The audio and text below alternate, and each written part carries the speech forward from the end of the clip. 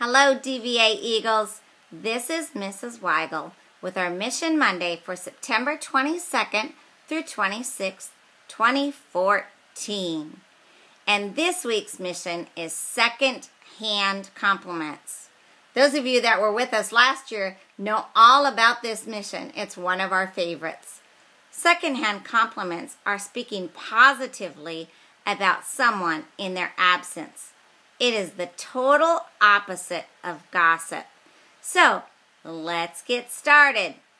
Students, each day this week, I want you to tell someone outside of our school something positive about someone in our school.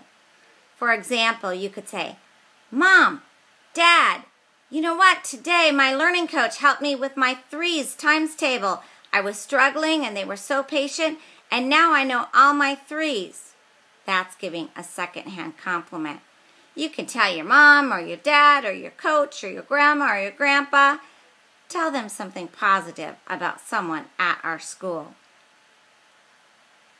Staff, parents, and volunteers. Here's your part of the second-hand compliments. I want you to ask your child or a student, what did you learn today? And when they answer you, then I want you to positively compliment someone who made the impact and help that child learn that. For example, the other day I asked a student about what they learned, and that student rattled off seven or eight things. And I said, Wow, you must have a pretty amazing teacher to help you learn all of those things.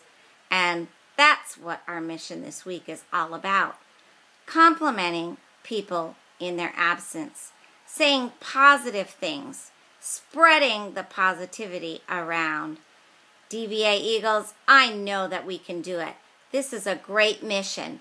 And if you'd like to read more about secondhand compliments, you can click the link below the video and read about it on Sam Stetcher's blog.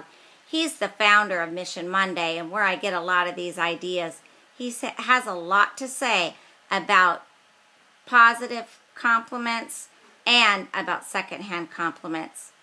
As always, DVA Eagles, remember our character always counts.